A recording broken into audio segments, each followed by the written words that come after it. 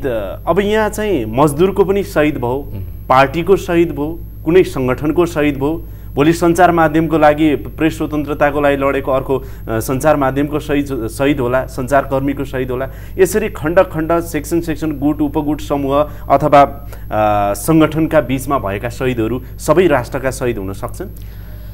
त्यसरी चाहिँ नि यस्तो के हुनुपर्छ भने जस्तो मानिलिनुहोस् कि तपाईँहरू पत्रकार हुनुहुन्छ। तपाईँहरू पत्रकारहरूको अधिकार कर्तव्य के हो भनेदेखि जस जस्तो सुकै आन्दोलन भएको बेलामा पनि रिपोर्टिङको लागि जानुपर्छ। जाँदाखेरि तपाईँहरूमध्ये कोही साथी सहिद भयो भने त्यसलाई यो फलानु पार्टीको मान्छे थियो फलानु पार्टीको कार्यक्रममा गयो भन्न हुँदैन।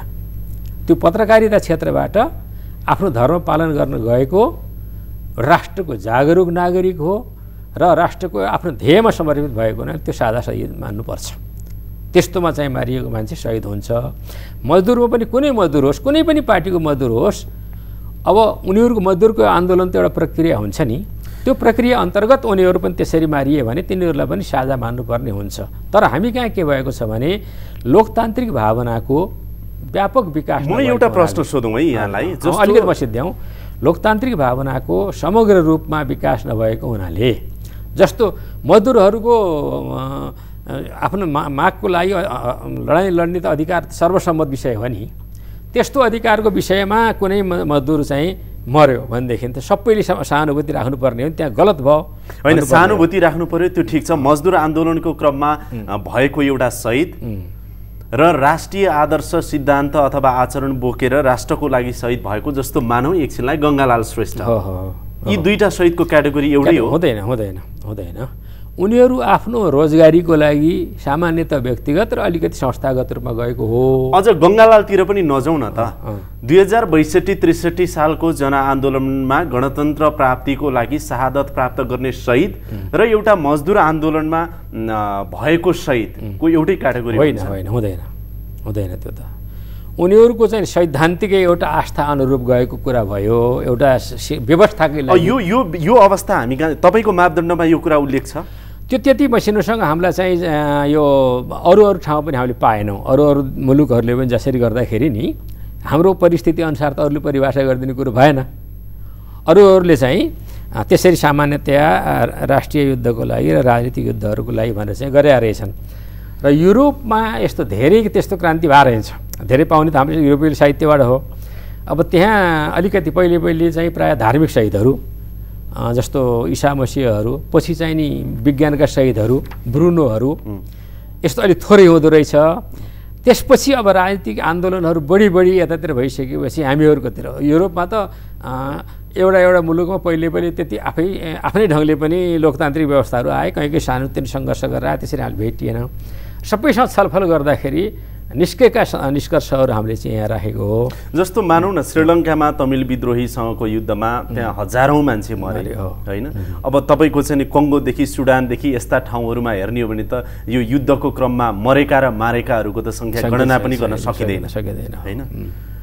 र जस्तो अब हामी कहीँ पनि प्रचण्ड सरकारले प्रचण्डको नेतृत्वमा भएको सरकारले साढे आठ हजारलाई सहिद घोषणा गर्यो पछि माधव नेपालको नेतृत्वमा भएको सरकारले झन्डै चार हजार कतिलाई। सहिद घोषणा गर्यो। दस हजारभन्दा बढी अहिले हामी कहाँ शहीदहरू अँ। हुनुहुन्छ। तपाईँलाई लाग्छ उहाँहरूले घोषणा गरे जति साँच्चीकै सबै शहीद छन्? अब उहाँहरूले चाहिँ के गर्नुभयो भनेदेखि घोलुवामै गर्नुभयो। घोलुवा भन्ने शब्द छ नि एउटा नेपालीमा व्यापारमा। प्रत्येक व्यक्तिलाई उसको ऊ कहाँनिर मऱ्यो कसरी मऱ्यो भन्ने रेकर्ड चाहियो नि त। हरेक मान्छेको उसको परीक्षण गरेर कुन अवस्थामा कसरी मारिएको भनेर गर्नु भएन दाबीको आधारमा गर्नुभयो उहाँहरूले। त्यसो भएको हुनाले त्यसलाई एकदम न्यायपूर्ण चाहिँ घोषणा भन्न मिल्दैन। यो शहीद किन घोषणा गरिन्छ? सुविधा लिनको लागि हो। हामीले त के आफ्ना मान्छे आफ्ना कार्यकर्तालाई सुविधा दिनको लागि अहिले बढी जुन अनियमित तरिकाले अथवा अप्राकृतिक तरिकाले अथवा अलिकति नमिल्ने तरिकाले शहीद घोषणा पनि गरिएको छ नि। यो भनेको के हो? आफ्ना मान्छेलाई सुविधा दिन हो? अब देखिएको त्यही छ। देखिएको त्यसो भएको हुनाले हामीले यहाँ के के सुझाव दियौँ भने शहीद अ, को कुनै चाहिँ क्षतिपूर्ति हुँदैन। हामीले त्यो किटानुसार लेखेका छ। क्षतिको ऊ आदर्शको लागि मरेको क्षतिपूर्ति हुँदैन। तर त्यो एउटा परिवारको मान्छे एउटा आदर्शको लागि उसले आफूलाई बलिदान गरिसकेपछि उसको सम्मान गर्ने र उसको परिवारको रेखदेख गर्ने उसको चाहिँ छोराछोरीहरूको चाहिँ पढाइ सढाइको ध्यान दिने कुरा सरकारको एउटा दायित्व अन्तर्गत अहिले त अहिले त शहीद भनेको दस लाख। दस लाख। अहिले यो यो शहीदको मूल्य दस लाख यो हुन्छ। यो बिल्कुल गलत तरिका हो यो। शहीदको दै होइन शहीदको पनि गरिबको लागि त दस लाख ठुलो कुरो होला। तर एउटा अरबपति रहेछ भने उसलाई दस लाख के कुरो हुन्छ? होइन तपाईँले अघि नै। पृष्ठभूमिमा भनिसक्नुभयो कि शहीदको क्षतिपूर्ति हुँदैन। तर यहाँ त राजनीतिक पार्टीहरूले शहीदको मूल्य दस लाख तोकिरहेका छन् नि होइन? एक प्रकारको चाहिँ के छ हुन त अब यो उनीहरूको बाध्यता होला। तर त्यो बाध्यताभित्र पनि के भयो भनेदेखि दस लाखको लागि के पनि देखियो भने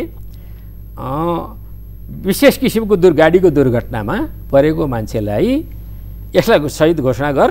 दस लाख रुपियाँ चाहिँ दे र बल्ल गाडी चला पनि त भन्ने हो नि। अब यो त व्यापार भयो।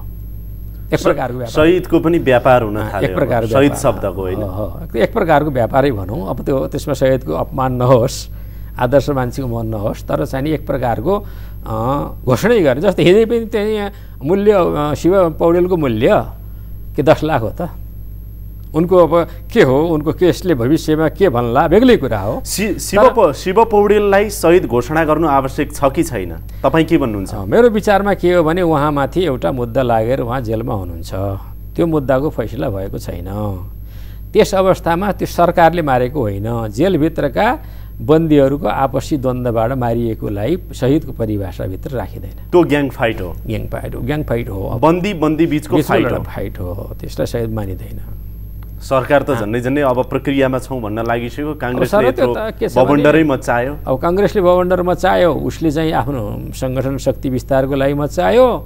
अब यसलाई शहीद मान्दा बित्तिकै माओवादीलाई धेरै सजिलो के हुन्छ भनेदेखि उनीहरूको चाहिँ बाह्र तेह्र हजार स्वत मान्य हुने भए त्यसो भएर बाबुरामजी त सहर्ष रूपले दस हजार फ्याटी फालिदिइहाल्ने र तुरुन्तै चाहिँ नि अब कारवाही गर्नेमा पुगिहाल्नु हो। दस लाख रुपियाँ दिएर शहीद घोषणा गरिदिएपछि। गरिदिएपछि त अब आफ्नो सम्पूर्ण त्यो जुन बाँकी टाँगी होइन?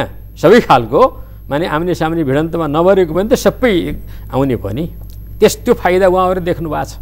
शहीदले सम्मान जुन सच्चा शहीद हुन् तपाईँलाई लाग्छ सम्मान पाएका छन्?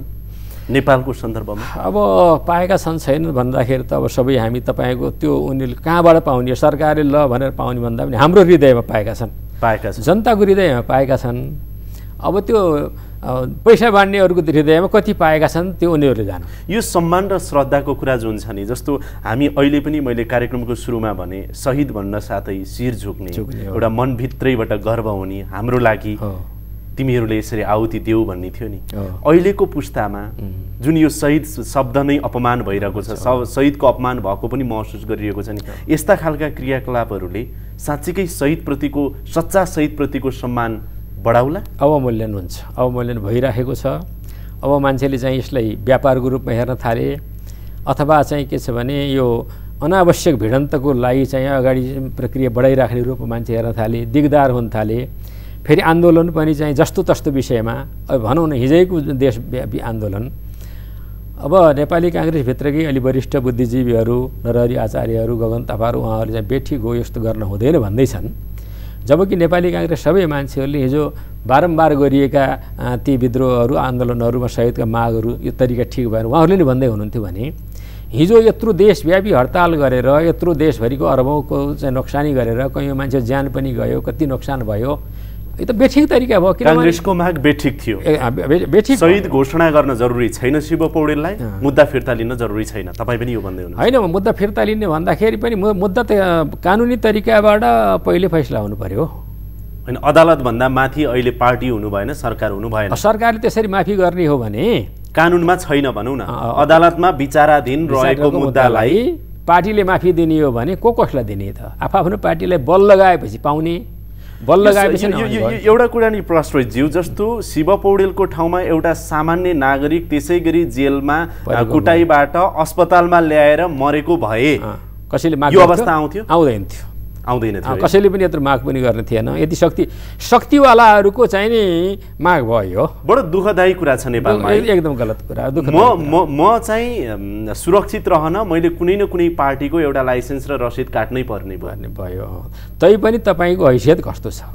तपाईँ त्यहाँभित्र निकै चाहिँ नि बलशाली मानिनुहुन्छ।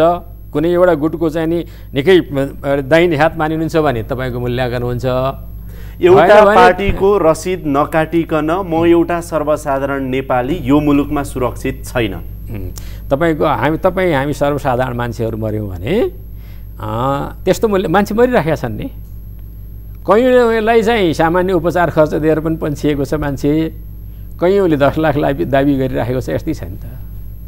यो कहाँसम्मको ठट्यौली सुनियो भने अब कुकुरलाई शहीद घोषणा गर्न बाँकी छ भन्नेसम्म अब एउटा नमिठो कुरा सुनियो है। त्यही हो अब के हुन्छ नि हरेक कुरालाई एउटा सानो कुराको पनि अवमूल्यन भयो भने एउटा मान्छेको चाहिँ सामान्य एउटा लेखाइको कुरामा बोलाइको कुरामा त मान्छेले कति खस्किँदै खस्किँदै गएको भन्छ नि मान्छेले। अब यत्रो शहीद जस्तो एउटा राष्ट्रले मात्रै होइन अन्तर्राष्ट्रले मान्ने कुरा हो नि यो त। गान्धीलाई हामीले कहाँ मरे अनि के उद्देश्यले मरे होइन? हामीले देखेका छैनौँ नि गान्धीभन्दा पहिल्यै अङ्ग्रेजसँग लडेर त पृथ्वीनारायण शाहले नेपाल बनाएका हुन्। सारा इन्डिया चाहिँ पराधीन हुँदाखेरि यही राष्ट्र मात्रै स्वाधीन थियो। त्यसको सय वर्षपछि गान्धी लडेका हुन्। तैपनि हामी गान्धीलाई अङ्ग्रेजको उपनिवेशवाद विरुद्ध लड्ने वीर भन्छौँ अब हाम्रो देशमा त उल्टो के भएको छ भने उपनिवेशको विरुद्ध लडेर राष्ट्र स्वाधीन हुने मान्छेलाई त मूर्तिले। पल्टाइदिन्छ नि त त्यसो भएर यो उल्टो उल्टो सोच सङ्कीर्ण सोच अनि त्यो चाहिँ कि इतिहासभन्दा विरोधी सोचहरू सच्चा। सच्चा शहीदका परिवारले राज्यबाट सेवा सुविधा पाएका छन् अहिलेको अवस्था पहिलो कुरो पहिलो हामीले यहाँ छलफलमा के गर्यौँ भने उनीहरूले सेवा सुविधा माग्ने होइन? राज्यले दिएको छ अब केहीलाई दिएको छ केहीलाई दिएको छैन तर जुन रूपमा दिनुपर्ने हो त्यो रूपमा छैन। छैन। अब पहिलो कुरो यो शहीदको परिभाषै यति सस्तो भयो कि राज्यले कति दिन्छ होला? त्यो हजारौँ हजार शहीदहरूले के के दिन्छ त? एउटालाई मानिलिनुहोस् कि त्यो घरको दुईवटा छोराछोरीलाई पढाइदिने आमा बाबु विरुद्ध छँदासम्म उनीहरूलाई केही राहत दिने एउटा मापदण्ड बनाउने हो भने पनि एउटा घर परिवारलाई पनि त दस पन्ध्र बिस लाख रुपियाँ जाने हो। त्यसै किसिमले गर्ने हो भनेदेखि यस्तै किसिमले शहीदलाई स्वस्थ बनाउने हो भनेदेखि त त्यो कतिसम्म कुन राज्यले गर्न सक्छ फेरि? गर्न पनि सक्ने पनि त त्यति स्थितिसम्म हुनु पऱ्यो नि त सङ्ख्या पनि। अन्तमा तपाईँ के आग्रह गर्नुहुन्छ? जस्तो तपाईँ शहीद परिभाषा उच्च स्तरीय कार्यदलको संयोजक हुनुभयो तपाईँ लगायत सात आठजना अरू पनि सदस्य विभिन्न रहे। शहीद शब्द अघि नै भन्दै गयौँ हामीले। सस्तो हुँदै गयो। अब कुकुर मरे पनि त्यसलाई शहीद घोषणा गर्न मात्रै बाँकी हुने हो कि भन्ने जस्तो एउटा व्यङ्ग्यात्मक अवस्था एकदमै नमिठो कुराहरू पनि आउन थालिसकेको अवस्थामा। तपाईँ के आग्रह गर्न चाहनुहुन्छ राज्यलाई अनि सम्बन्धित निकायहरूलाई? अब कुनै पनि मानिसले एउटा निश्चित आदर्शको लागि अहिलेसम्म त मान्छे राजनीतिकै लागि लडिराखेका छन्। कुनै दिन यस्तो आउला कि अब यो मान्छेको चाहिँ नि शरीरको संरचना परीक्षणको लागि सधैँभरि सुरक्षित राख्नुपर्छ भन्ने एउटा कसैको माग होला। कसैले चाहिँ अहिले तमाम यो मान्छे मरिसकेपछि दफनाउने परिणाम छ नि? तपाईँ झापातिर जाँदा देख्नुहुन्छ। यसले देशलाई बिग्रिने भयो यसको कुरालाई चाहिँ अलिक समाधान गरौँ भन्नलाई यस्तै यस्तै केही कुनै पनि एउटा राष्ट्रको सँग समस्यासँग गाँसिएको मुद्दामा विद्रोह भयो। होइन? त्यस्तो मुद्दामा पनि चाहिँ मान्छे मारिन सक्छ। विभिन्न हुन्छ नि त। त्यसो भएर त्यो समग्र राष्ट्रको हितमा के हो त्यो कति आम जनताको हितको पक्षमा छ कि छैन देशको पक्षमा छैन एकदम त्यस्तो विवेकशील निर्णय गर्ने एउटा छुट्टै संस्था चाहियो। न्यायालय जस्तै। सबै कोणबाट हेरेर मूल्याङ्कन गरेर हो यो माग जायज हो भनेर निष्कर्ष निकाल्ने खालको एउटा प्रणाली पनि स्थापित गर्न पर्यो। त्यो जरुरी छ। त्यो जरुरी देखियो। अरू मुलुकमा त्यस्तो पर्दैन। यस्तो सस्तो किसिमले अरू मुलुकले सायद चाहिँ माग गर्दैनन् होला। शहीदको परिभाषा मापदण्ड प्रकृति अथवा अरू यावत कुराहरूको विश्लेषण एकचोटि फेरि पनि औपचारिक रूपमा हुन जरुरी छ हामीले संयन्त्र चाहिन्छ। यो हामीले सुझावमा दिएका पनि छौँ। तिनीहरूको कस्तो सम्मान गरिनुपर्छ परिवारलाई कसरी हेरिनुपर्छ परिवारलाई सहयोग गर्ने भनेको के हो परिवारको क्षतिपूर्ति माग्दाखेरि माग्न हुन्छ कि हुँदैन यो ती सुझावहरू पनि यसमा परिवारले क्षतिपूर्ति माग्ने होइन। माग किन उसले त क्षतिपूर्ति हुन्छ र शहीद एकजना मान्छे मरेको कुराको मेरो छोरा दस लाख रुपियाँ ले भनेर क्षतिपूर्ति हुन्छ र त्यो त क्षतिपूर्ति हुँदै हुँदैन। परशुरज्यू यहाँसँग कुरा गर्ने धेरै मन थियो तर समय सकिएको छ कार्यक्रममा आइदिनु हो। पक्कै पनि एउटा संयन्त्र त्यो बनाउन जरुरी छ। यहाँले पनि भनिसक्नु भएको छ। यहाँलाई धेरै धेरै धन्यवाद। धन्यवाद। तपाईँले पनि आज यस्तो छलफल चलाउनु हो छलफल गर्ने मौका पाइयो। धेरै धन्यवाद। हस् धेरै धेरै धन्यवाद।